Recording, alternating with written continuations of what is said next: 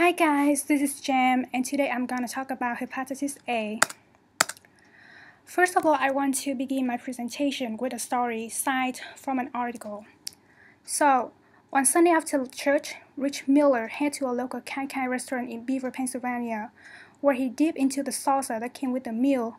That simple act in 2003 changed his life forever. What Miller didn't know was that the important Mexican green onions in the salsa carry a deadly passenger, hepatitis A. So, what is hepatitis A? What is the symptom? How can it be transmitted?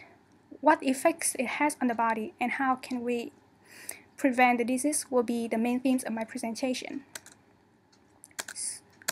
So you guys usually hear that you can get hepatitis A from shellfish, this is only partially true. You can get hepatitis A if that shellfish lives in really contaminated water and you don't cook it properly.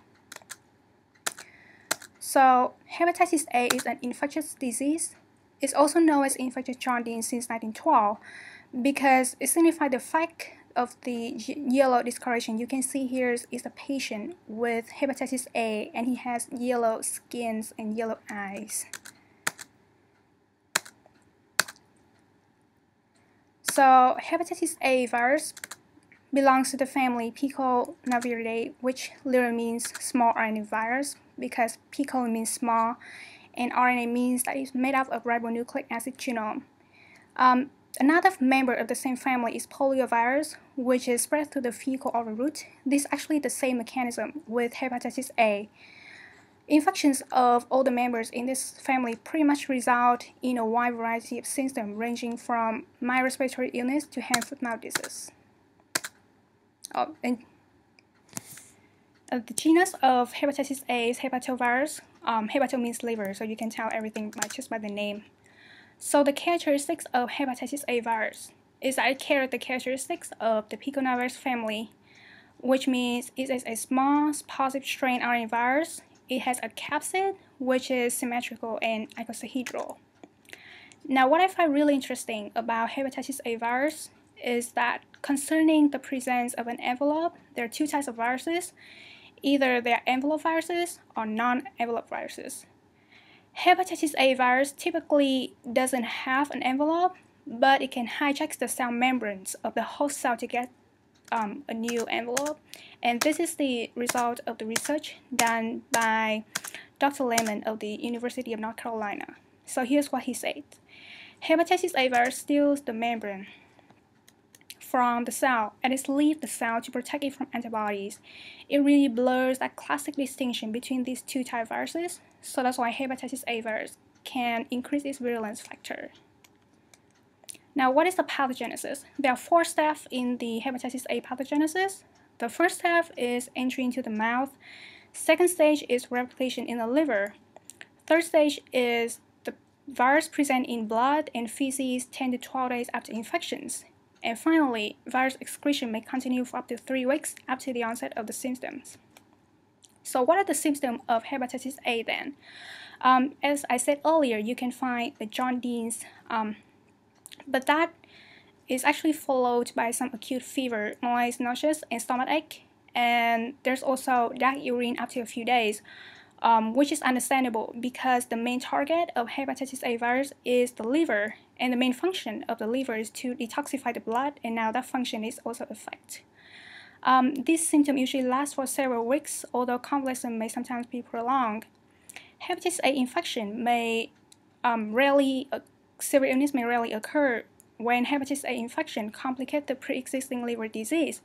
And it can be dangerous because infants and young children infected with hepatitis A virus do not show symptoms, so they can unintentionally give the disease to everybody else. So here's the graph showing the concentration of hepatitis A virus in body fluid.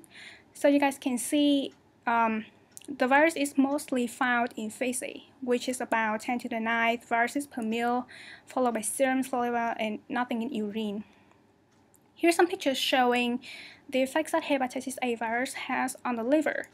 Um, so here's an inflammation, um, and periportal inflammation with some ballooning, degeneration, lobular inflammation.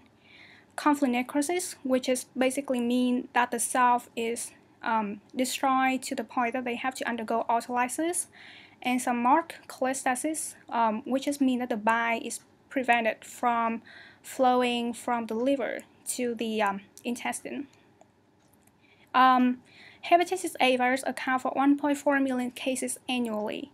It is reported to occur both sporadically and epidemically. Pretty much, um, epidemics are really common in undeveloping countries because they have contaminating food or water, but it doesn't mean that there's no cases in developing countries. The example of Rich Miller is um, show that. Now here's the chart showing the incidence and prevalence by region all around the world. So here's in the year of 1990, and the most cases are in Asia, which is not too surprising because Asia has the most people. Uh, there's some cases everywhere else as well. Um, here's a chart showing the top 10 states with the highest hepatitis A rates. Uh, so in 1987 and 1997, um, the top three are Arizona, Alaska, and Oregon. And these changed to DC, Georgia, and Arizona in 2001. So here, Arizona is in the top three state with the highest hepatitis A. And what I find really interesting is somehow DC ranks the first in 2001 concerning hepatitis A cases.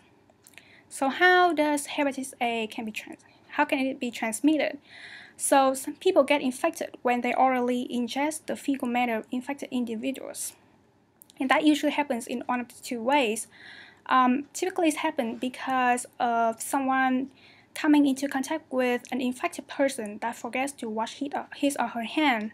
Or in the case of the shellfish, that's because of people consuming food or water that contaminated because they do not wash um, the food carefully or because the food handler forget to wash their hands. Um, there are some more cases. So 46% of the cases actually unknown, uh, followed by 14% which which is transmitted from sexual contact or household contact, and men who have sex with men also account for 10% of the disease.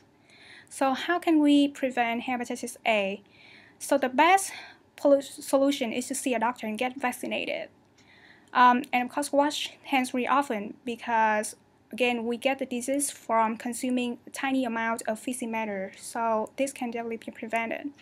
Use caution around infected people because they can unintentionally give us the disease and know when and where to be alert, uh, especially during international travel. Um, clinically, hepatitis A can be diagnosed by a blood test. The presence of IgG antibodies alone are evidence of past infections. Um, the presence of IgM antibodies also confirm recent infection. Um, so I want to end my presentation with the vaccine. So for sure, hepatitis A can be prevented by vaccine. And the antibody can persist from 8 to 5 years among adults and children. And other mechanisms like cellular memory can contribute. And finally, um, the vaccine is pretty safe. There's no severe adverse reaction. The safety in pregnancy is not determined, but its risk is likely low. There may be some common side effects like soreness at injection site, headache, malaise, um, contraindications when there may be a severe adverse reaction to the previous dose or allergy um, to a vaccine component, but there's no special precautions for immunocompromised people. Um, this is Jam on hepatitis A virus, and thank you for watching.